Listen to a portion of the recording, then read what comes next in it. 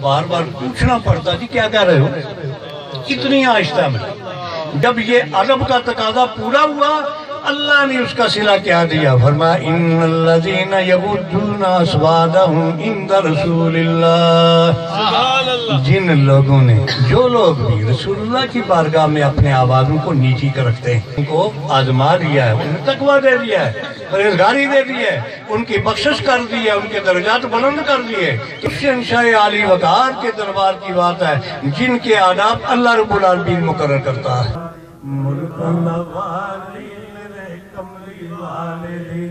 دو جگ شاہی کملی والے دی دو جگ تے یہ وہی شہنشاہ جس کی بارگاہ میں ہویا دو چار۔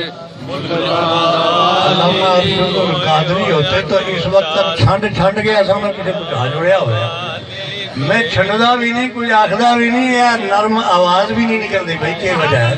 کوئی ہویا دو چار۔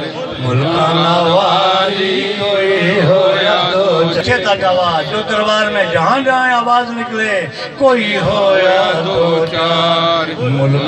والی کوئی ہویا دو چار۔ والی میرے کملی والے کملی والے دو شاہی میرے کملی والے حضرات